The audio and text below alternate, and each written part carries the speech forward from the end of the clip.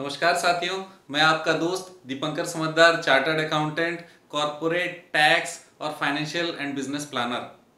आप लोगों के सामने एक ऐसा इम्पोर्टेंट टॉपिक लेकर आया हूँ, जो कि हमारे लिए बहुत रोज़मर्रा हो गया है, हमारे चर्चा का विशेष विषय हो गया है। अगर हम जीएसटी सबसे ज़्यादा चर्चा का विषय रहा होगा तो जीएसटी के बाद ये वाला पॉइंट जीएसटी के संबंध में चर्चा का विषय है। हमारे काफ़ी सारे दोस्तों ने मेरे पहले के काफ़ी वीडियोस को लाइक किया, सब्सक्राइब किया। बहुत बहुत धन्यवाद आप सबका। जैसे जैसे आपके क्वेरीज आते जा, जाएँगी, मैं वैसा वैसा आप लोगों की सुविधा के लिए वीडियोस बनाते चलूँगा। मेरे आदरणीय क्लाइंट लोगों के लिए आज का ये टॉपिक जो ये कहता है कि क्या हम कैश में सेल दिखाएँगे तो जीएसटी में कोई लाइबिलिटी आएगी? ये बहुत मिक्सचर वाला कंसेप्ट लोगों के अंदर में घूम रहा है, क्योंकि लोग ना इनकम टैक्स और जीएसटी ये दोनों चीज़ों को कॉम्बिनेशन में लेकर चल रहे हैं और इसका प्रोविज़न इसमें मिक्स हो जा रहा है और उसका इसमें मिक्स हो जा रहा है। मैं आपको आज पहले जीएसटी के संबंध में कैश सेल के बारे में बताना चाहता हूँ। ध्यान से सुनिएगा। सबसे इंपॉर्टेंट ये कि अगर हमारा बिज़नेस ऐसा है कि जो रिटेल में काम करता होगा, जो खुदरे और रिटेल कस्टमर्स लोगों को डील करता है एंटरटेन करता है तो हम उनको माल बेच सकते हैं कि नहीं बेच सकते हैं? कैश में। आप बिल्कुल कैश में माल बेच सकते हो। वो खरीद सकते हैं कि नहीं सकते हैं उसके ऊपर हम लोग अगले वीडियो में बात करेंगे। तो अगर आपका सामान ऐसा है कि आपको रिटेल में माल बेचना पड़ता है और बेचने की आवश्यकता पड़ती है तो आप बिल्कुल रिटेल में माल बेचिए। कैश में आ, बिल आप फाड़ सकते हैं। जीएसटी की जो इनवाइस होती है, वो इनवाइस के बारे में मैक्सिमम क्वेरी रहता है कि क्या हम जीएसटी का इनवाइस फाड़ें और फाड़ें तो फिर उसमें फॉर्मेट में कुछ चेंजेस आएगा क्या? दोस्तों, मैं बताना चाहता हूँ कि आपको जैसा नॉर्मल जीएसटी का इनवाइस होता है एग्जैक्टली सेम इनवाइस बनाना पड़ेगा। फॉर्मेट में कोई भी चेंजेस नहीं आएगी। आपको उसमें इंफॉर्मेशन पूरे वही डालने हैं। अगर जो व्यक्ति आपसे खरीदने आ रहा है, वो कोई भी अपने बारे में नाम, पता या जगह का इंफॉर्मेशन देता है तो उस इंफॉर्मेशन को आप तुरंत उसमें डाल दीजिए। तो हमारा जो फॉर्मेट का रिक्वायरमेंट है, वो आइटम डिस्क्रिप्शन पूरा कंप्लीट होना चाहिए। जीएसटी के जो हमने चार्ज किया है और परसेंटेज वो सही होना चाहिए, जो कि आपके नॉर्मल सॉफ्टवेयर से आप बिल्कुल करते होंगे। तो हमारा आइटम डिस्क्रिप्शन सही हो गया। हमारा पार्टी और कस्टमर का डिटेल जितना पता था, उतना डाल दीजिए, क्योंकि कैश वाले में वो ज़्यादा बात सुनेगा नहीं। अगर मेरा नाम दीपंकर समझदार है तो मैं ये भी बोल सकता हूँ कि लिखो ना यार, दीपंकर नाम से लिख दीजिए। और मोबाइल नंबर कोई ज़रूरी नहीं कि सामने वाला देने वाला है। आपको कोई भी सामने वाले का केवाईसी मांगने की ज़रूरत नहीं पड़नी चाहिए। आप लेकिन कर्टेसी ये ज़रूर रखिए कि क्या सर आप इसका जीएसटी क्रेडिट लेना चाहेंगे? अगर चाहेंगे तो क्या आप अपना जीएसटी नंबर और फर्म का नाम बता सकेंगे?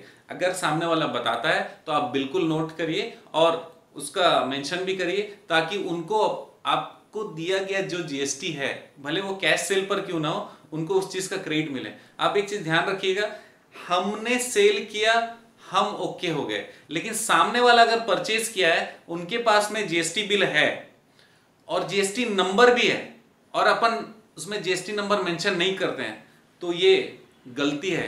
किसी की भी गलती हो, लेकिन एज ए व्यापारी एज ए सेलर हमारा ये ज़िम्मेदारी बनता है कि हम सामने वाले से ज़रूर एक बार पूछें कि क्या आपका जीएसटी नंबर है और है तो बिल्कुल डालें। जो जो इंफॉर्मेशन है, आप बिल्कुल पूछिए।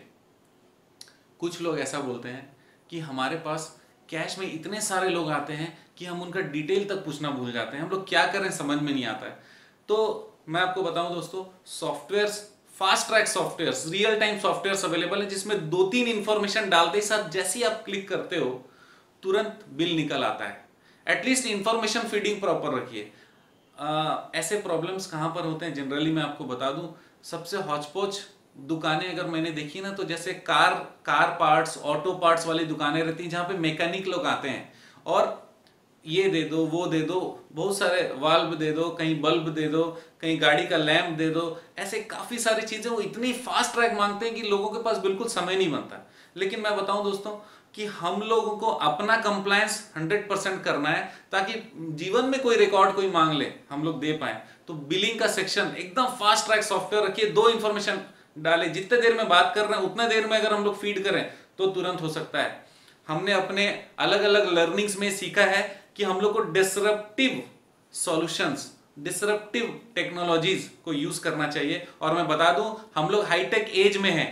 इंडिया में सबसे बेस्ट सॉफ्टवेयर डेवलपर कंपनीज़ हैं, जो पूरी दुनिया में अपना नाम रखते हैं और सबसे ज़्यादा टर्नओवर्स भी इंडिया वाले लोग क्रिएट करने का दम रखते हैं।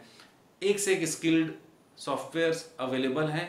आप फास्ट ट्रैक सॉफ्टवेयर यूज़ करिए। मैं तो यहाँ तक बोलता हूँ कि कई सारे हमारे सेलर्स लोगों को, अपने सेल्समैन लोगों को मोबाइल एप्लीकेशन तक दे देना चाहिए कि अगर बिलिंग के लिए अगर वो दूर खड़ा हुआ है, काउंटर से दूर है, इंफॉर्मेशन तुरंत डाले, वहाँ से बटन दबा दे तो उधर से प्रिंट निकल जाए। क्यों नहीं हो सकता? अगर चाहे तो हो सकता है, बहुत महँगा नहीं होता, लेकिन जो समय बचता है ना, उसका कोई हिसाब नहीं अगर आपके पास दस एम्प्लॉय हैं दस एम्प्लॉय अगर दिन भर में बीस बीस मिनट बचाते हैं 200 मिनट बचता है, उस 200 मिनट में जो एडिशनल सेल कर लेगा, वो आपके वर्किंग कैपिटल और गुड्स टर्नओवर में काफ़ी हेल्प कर सकता है। तो मैं वापस अपने टॉपिक पे आता हूँ दोस्तों।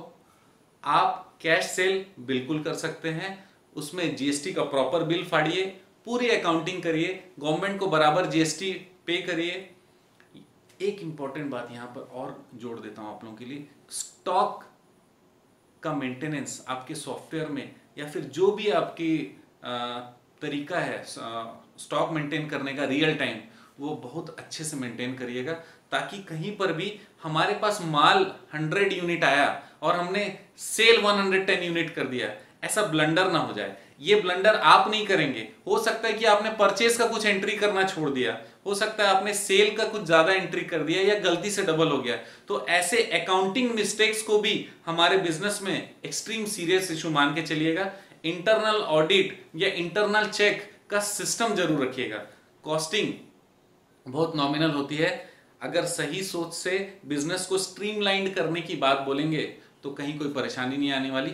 एक बार फिर से जीएसटी में कैश सेल आप बिल्कुल कर सकते हो। लिमिट की बात पूछी जाती है, कोई लिमिट नहीं है। आपका गुड्स के हिसाब से आप कितना कैश सेल नॉर्मली करते हो, ये कोई भी असेसमेंट ऑफिसर समझ जाएगा। आप जो एक्सप्लेन कर सकते हो, वो काम 100 परसेंट कर सकते हो।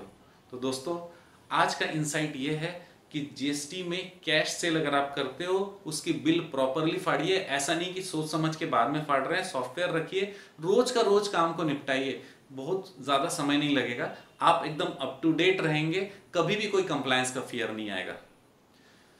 आप लोग जो मुझे इतना प्यार देते हैं और हमारे वीडियोस देखते हैं और सब्सक्राइब करते हैं लाइक करते हैं कमेंट्स करते हैं, मुझे कर्नाटका से और काफ़ी सारे जगह से कॉल आते हैं कि मुझे कुछ इन्फॉर्मेशन चाहिए। मैं हमेशा कोशिश करता हूँ कि कमेंट्स में जो आपके क्वेरीज रहती हैं, उसको तुरंत सॉल्व कर दूँ। मेरे क्लाइंट्स के कॉल को भी मैं वीडियो में कन्वर्ट करने की काफ़ी सारी कोशिश कर रहा हूँ और करते चले जा रहा हूँ।